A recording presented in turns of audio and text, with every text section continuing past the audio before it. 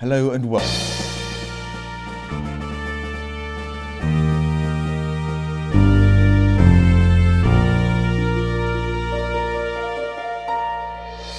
Starting off the news this week, I'd just like to quickly mention SpaceX's Starship aborted launch attempt on Monday.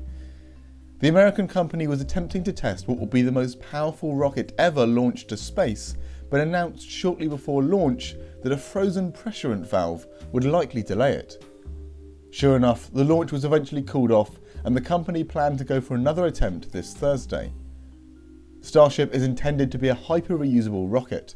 Both stages are planned to be fully reusable, with the company hoping to be able to use the same craft multiple times a day for various tasks. The ship should, eventually, be versatile enough to complete tasks from transporting people around the world faster than airlines to sending up massive groups of satellites all the way to sending people back to the moon and beyond to Mars. And in the paleontology news this week, we first up have the very exciting publication of the oldest known bat fossils in the world. These fossils represent a new species of an already named genus, called Icaronycteris gunnelli. They date back to around 52 million years ago in the early Eocene epoch, and have been found in the Green River Formation of Wyoming. This formation is well known for preserving some of the other earliest bat fossils, but the two beautiful specimens of Icaronycteris gunnelli come from lower down in the stratigraphy of this formation than any others, indicating that these are now the oldest known.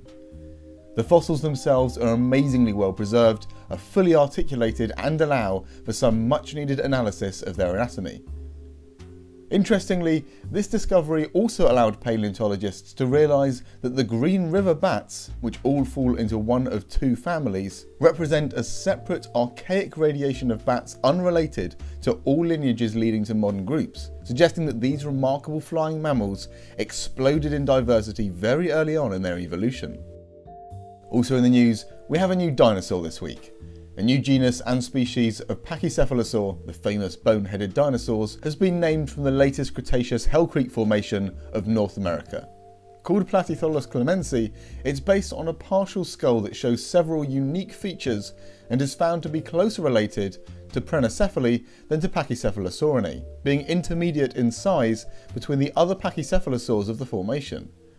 So, a very interesting study there, and welcome Platytholus. Also this week was the amazing news of evidence for the oldest therizinosauroids and troodontids being found in the UK. This paper applies different machine learning models to samples of theropod teeth from microvertebrate sites dating to the mid-Jurassic in various localities in the UK.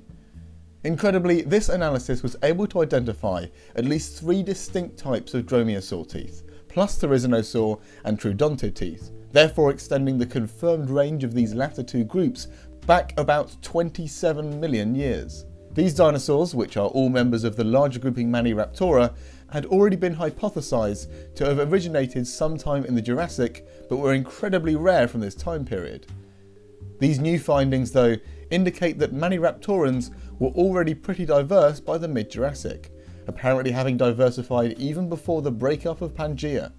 It's an absolutely amazing discovery and shows how useful applying machine learning methods to paleontology is and will continue to be. Up next, we have the continuation of the Tully Monster Wars.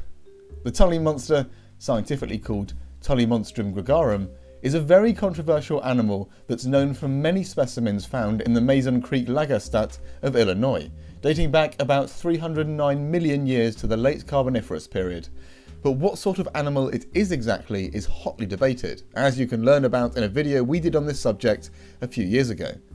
Anyway, recent papers seem to favour the Tully monster's identity as a vertebrate of some sort, but now this new publication argues against that again.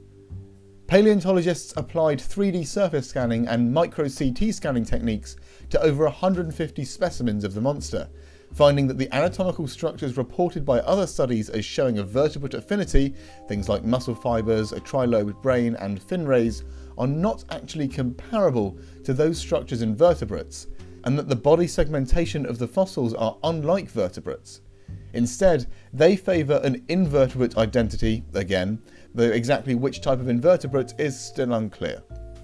Well, I think it's safe to say that this is definitely not the end to the Tully Monster debate, and we'll just have to see what's published next. And that's it for this week's 7 Days of Science. I do hope you enjoyed, and we'll see you on Sunday.